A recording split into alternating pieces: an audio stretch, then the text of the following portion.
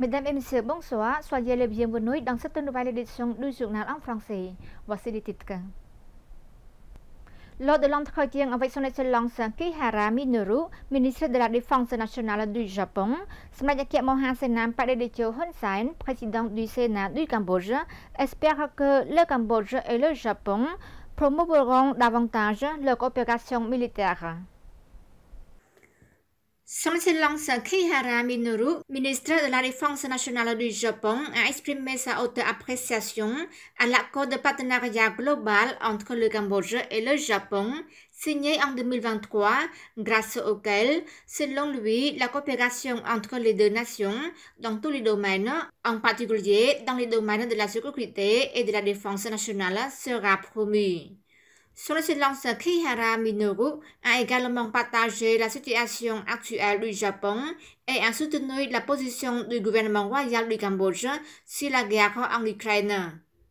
De son côté, Smadetio Hun Sen a affirmé les relations Cambodge-Japon resteraient les mêmes car son successeur, Smraj Mahabhabha Thappadei Hunmanet, travaillerait avec son homologue japonais, son Excellence Fumio Kishida, pour poursuivre ces bonnes relations.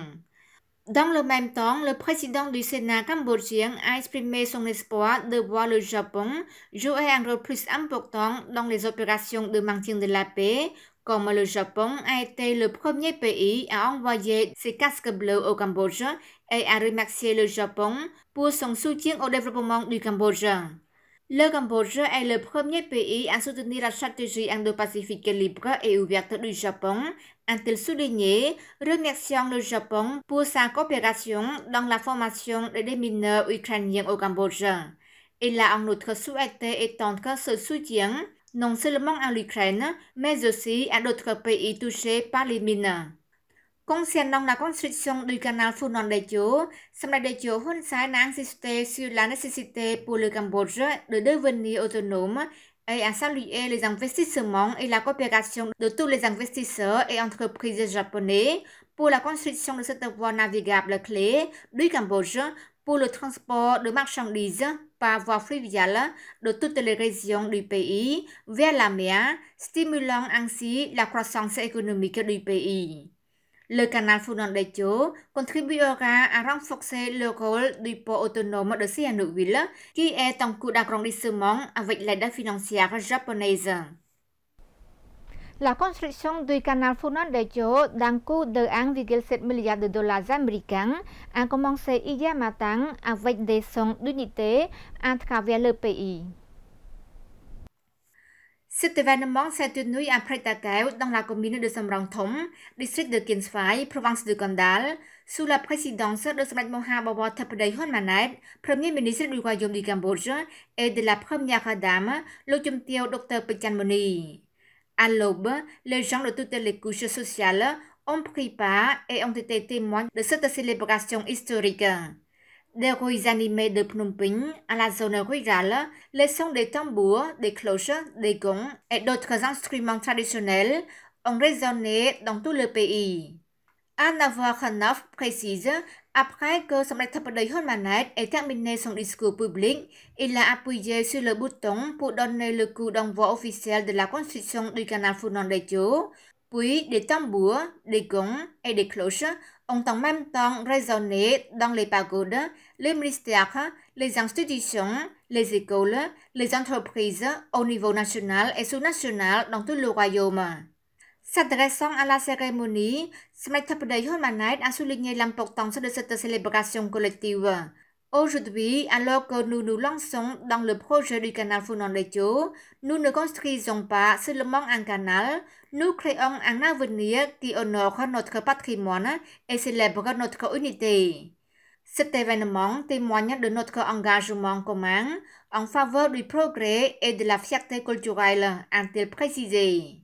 Le canal Funan Daecho aidera le Cambodge à renforcer son indépendance politique en termes de transport fluvial, mais n'affectera pas l'environnement et le débit du Mekong, a ajouté le chef du gouvernement royal.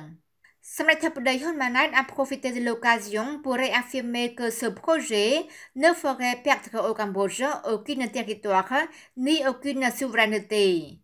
Si vous n'y croyez pas, venez voir les résultats concrets dans les cinq prochaines années, a-t-il dit. À noter que le canal Funandacho est le premier projet historique de transport du Cambodge reliant le système du Mekong à la voie maritime.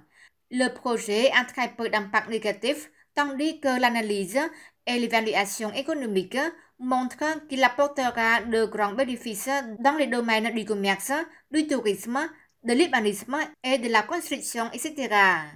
D'après l'étude de faisabilité, le projet de canal Funandecho d'un montant de 1,7 milliard de dollars américains mesure 180 km de long et 100 mètres de large en amont et 80 mètres en aval avec deux voies de navigation. La construction durera environ 4 ans sous forme de BOT, construire, fonctionner et transférer. Le canal reliera Pretaka du Mekong à la mer dans la province de Kep, traversant quatre provinces, Kondal, Takao, Kampot et Kep, avec un total de 1,6 million de personnes vivant de chaque côté de la voie navigable. Le Japon continuera de renforcer et d'élargir la coopération avec le Cambodge sur le domaine de la défense. Dans le cadre du partenariat stratégique global, le Japon continuera de consolider et d'élargir sa coopération avec le Cambodge, notamment dans les domaines de la défense et de la sécurité. Cette détermination a été soulignée par son excellence Kihara Minoru, ministre de la Défense du Japon, lors d'une visite de courtoisie au Premier ministre cambodgien, Smet Mohamed Thappadei Hun au Palais de la Paix à Phnom Penh.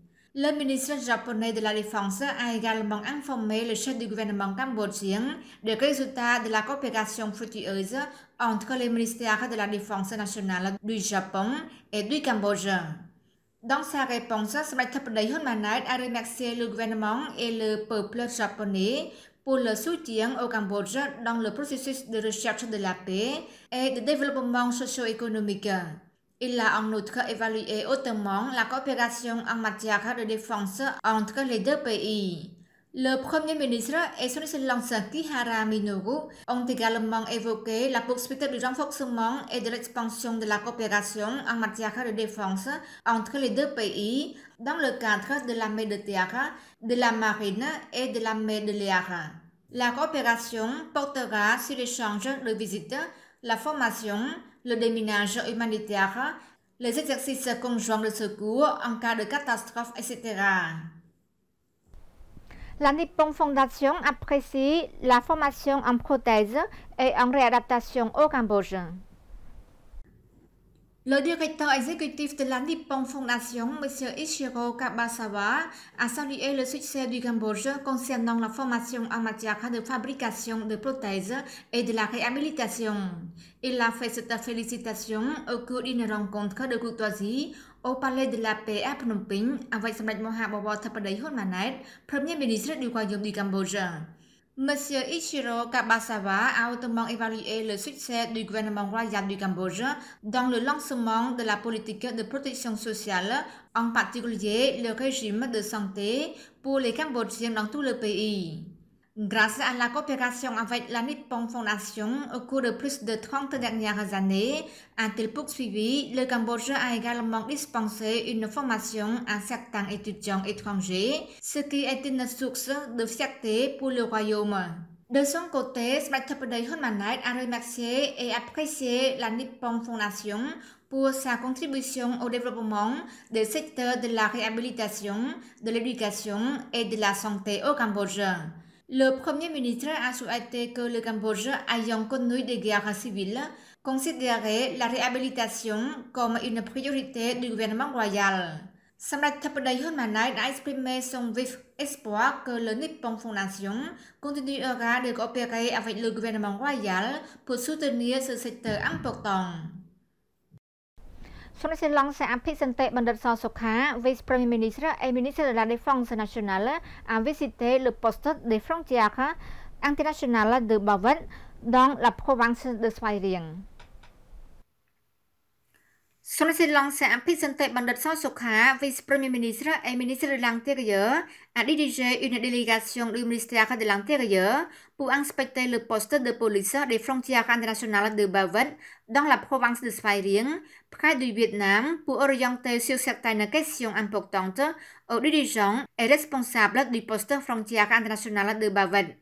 Son Excellence a présenté Bandit Sokha a demandé aux dirigeants et aux responsables au poste de police des frontières internationales de Bavet de prévenir strictement les activités transfrontalières illégales, le trafic transfrontalier illégal de drogue, d'armes, d'explosifs et de marchandises de qualité inférieure, en particulier les importations de produits alimentaires, et de coopérer avec la partie vietnamienne pour prévenir divers phénomènes négatifs et promouvoir le respect mutuel de la souveraineté. À cette occasion, son excellence un présenté Bandit Sokha a également fourni des dons de nourriture au poste de police frontalier international de Bavet. Dans l'après-midi du même jour, son excellence le vice-premier ministre a présenté Bandit Sokha a poursuivi sa rencontre avec les dirigeants et les fonctionnaires de la police de la province de Svay Rieng. Conformément aux cinq principes prioritaires de la première phase de la stratégie du Pentagone du gouvernement royal, septième mandat, les personnes, les routes, l'eau, l'électricité et la technologie, son Excellence a présenté Bandit Sokha a demandé aux dirigeants et aux fonctionnaires de police de la province de Svay Rieng de renforcer la capacité technologique numérique pour assurer la sécurité, l'ordre public. Et la fourniture de services publics avec la confiance, la transparence, l'efficacité et la rapidité à la population.